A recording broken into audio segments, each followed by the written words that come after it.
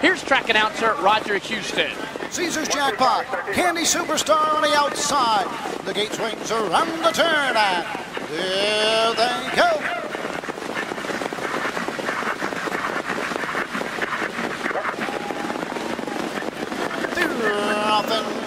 Fast out of the gate, the one Town Pro down along the rail, the two LDs Trish. Fast on the outside, the seven Candy Superstar, three wide. Into the rail, the three, delinquent account gets away fourth. Racing fifth, Cheery Hello. Sixth at the rail, Ms. Magic. Trailing the field, Caesar's Jackpot. As they race around the turn, going to the first quarter mark. Town Pro and Doug Take the field to the quarter. The fastest ever for Mare Pacers in the Breeders' Crown. 27 and 2 fifths. He of the lane, passing it the first time. Town Pro leads the way. LD's Trish racing second. Candy Superstar third. Out and moving on the outside. Delinquent account with a tough first over. Racing up on the outside. Cheery Hello now fifth with cover. Biz Magic at the rail sixth to the outside. Caesar's Jackpot can see them all. Past the half. 56 seconds. Racing to the backside at the 5-8 mark. It's Town Pro showing the way by a length and three quarters.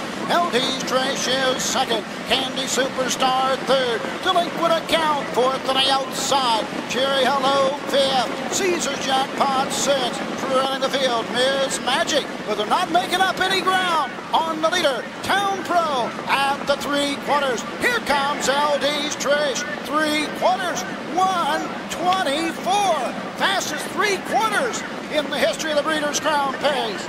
Around the final turn, LD's Trish on the outside. Town Pro gives way at the rail. Delinquent account closing on the outside. Down the stretch they come. LD's Trish. Delinquent account closing on the outside. It's delinquent account on the outside. Giddy up. 154 and 2. Second to the wire, LD's Trish. Closing for third, Caesar's Jackpot.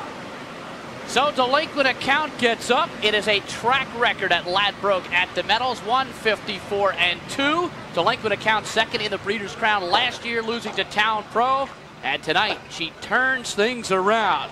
Brilliant on a 5 8 mile track, and she showed it once again tonight. You know, delinquent account is just four lanes shy of an undefeated season. Bruce, an amazing effort here by Delinquent Accounts. She remains the queen of the hill here, pulling first over and still having enough left in the stretch to get up over LD's Trish, who just happened to come away with the perfect pocket trip. Looked like she might be a winner for a while. As I mentioned in the post parade, she was not up to this fearsome foursome, and she just missed, but Delinquent Accounts certainly proved herself tonight. Trained by Bob McIntosh, owned by George Siegel and Brian Moynihan. This on the road again Bay Mare out of the Fred Hanover mare Al Dente comes home in the Breeders' Crown mare pace and sets a track record in the process. We'll be back.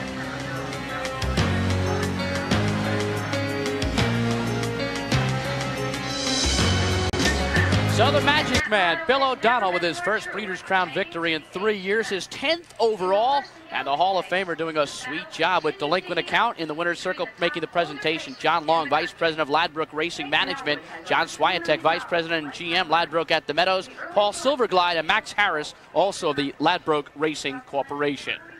Here are the prices. Delinquent account was bet down to 8 to 5, returned $5, 320 and 280.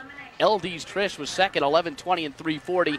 Caesar's Jackpot finished third, $3.40. Once again, track record time, 54 and 2. Here's John Pavlak. All right, with Bill O'Donnell, Bill, just a magnificent effort. You really made two moves. You came out a little early, but put her back in a hole. Well, I come out and, uh, you know, started to go, and they were just going so much, I really couldn't advance much, so I just give her a little rest again up the backside, and uh, and, you know, she get up, then I work my way up and mark come out of the two hole there, which uh, worked out really good for me. Got her back on the bit, and she started pacing strong again, had to stretch, and uh, you know, then she just got by that other mare, which is, uh, I mean, a gallant effort for her. All right, we're going to pick up the replay. As you're going down the backstretch, second and final time, you finally decide to make the move. What told you to come out then? Did you see the front end weakening a bit? Uh, no, not really. I just, you know, I was working my way up, and, and I just wanted to get up in contention because, you know, she's not a giver-upper, and I thought if I could get up Handy Town Pro, I didn't know if I could beat her, but I just thought if I could get up there, I'd finish with her anyway. LD's Trish is a very fast mare, and with a trip like that, she was tough to beat. No question. I mean, she's been a great mare since she was a two-year-old, and so is mine and Town Pro. I mean, this is as good a bunch of mares you'll ever see race, I think, together. And your winner is the best mare anywhere right now? Well, tonight she was. so she's been for a couple of three weeks, but yeah, she deserves the honors, at, you know, for the end of the year, I think. Very good. It's been three years since Bill O'Donnell's been in the winner's circle. It's good to see you back, Bill. For a breeder's crown. For a breeder's crown, I should say. Exactly. You know, sometimes, Bruce Beck, it's not how fast you go or how much you make. It's the quality of horses you beat. Delinquent account beat the best field of mares tonight. Back to you, Bruce. So Delinquent Account, bred by the a la carte racing stable, Pico Rivera, California. That's the stable name of restaurateur and harness racing enthusiast Willard Smith. LD's Trish was second, was second last year, and there's the rest of the official results.